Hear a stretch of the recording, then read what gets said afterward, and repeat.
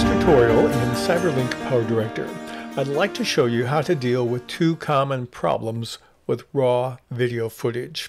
The first one is when your horizontal isn't right, and you can see that very clearly in the first frames of this video clip. We'll show you how to correct that. The second thing is when the colors are dull. This is a fall scene, but it really doesn't pop. There could be a, a, a bit more color, a, bit more vibrancy to it. We're going to show you several tools you can use to adjust that. So let's start out with the horizontal issue. When I play the video, you see that even though the camera thought it was filming on the horizontal, it really doesn't look like it is, at least in that relationship to what we see here. It's going to back up here, and the farther back you get, the more it might look acceptable, but we don't even want the close-up video shot to look crooked. So let's fix that. So I'm going to stop the video and then highlight it, and then click on the Edit button above the timeline. Now we have some tools here. I want to be on the video option in the new interface, and I want to be on the tools option as well. Now we're going to click down to the crop and rotate. When we click there, it will open up a new screen called crop and rotate. And I find if I want to make some very small adjustments to this and not massive ones, I like to use the numbers over here. So if I click on the word rotate and the number button, I see up and down arrows. I'm going to use a down arrow and adjust it just slightly. If I click it once, it's one degree, two degrees. That could work. Let me try three. I like three better. So I'm a minus three and it looks rock solid level. But I have some of the images out of frame. How do I fix that? You just take the corners and you draw the corners in. We're going to lose a bit of content, but not enough to matter. And I'll take the opposite corner and draw that in and now that will look pretty good. I'm going to click on OK. We're not going to keyframe this at all. And it'll pop up. And now when I play the video, we see that it looks pretty horizontal. So I fixed that problem. Now let's deal with the color problem. There are three approaches we're going to look at in quickly modifying color. So I'm going to highlight the clip again, and we're going to click back on Edit. This time we're going to click under Video. We're going to click on Color. Let's look at a couple options we have here when it comes to color. I'm going to widen this so we can see our entire sliders here. A couple things that I might like to do. One thing I like to look at often is sharpness. That's my bottom color control. And I will slide this a little bit to the right. It doesn't have to go far.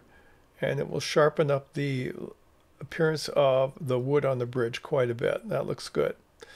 The second thing I could do is I could work on exposure, but we have to be careful so we don't blow things out. If I drag it this way, we have a blown out scene. So I generally don't do too much with exposure. We can uh, affect the brightness a little bit, and maybe just a little touch on that might help.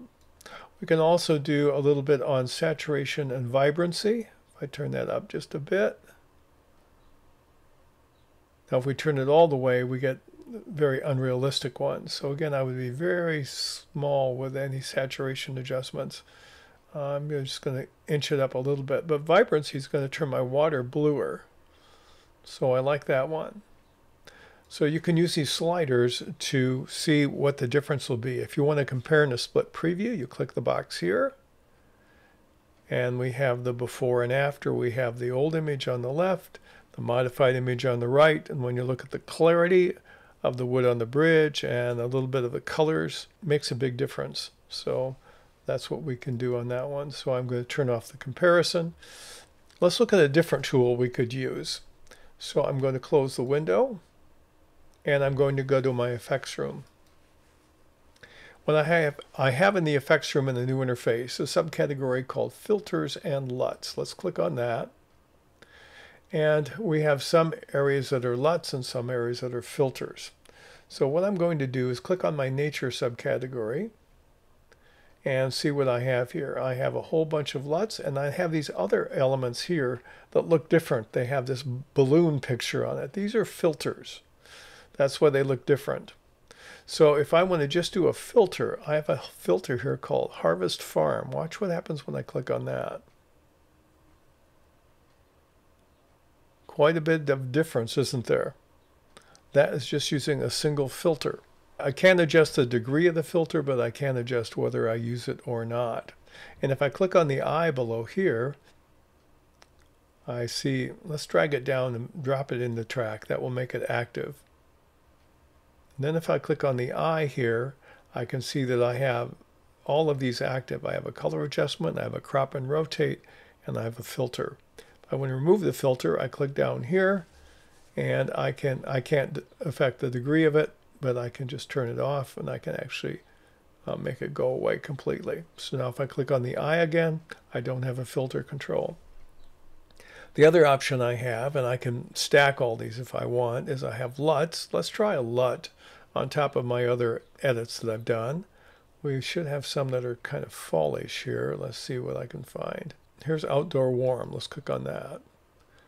Uh, that could work. It's very, very dense. Let's try another one. Let's try four. A little less, a little more subtle. Let's try one.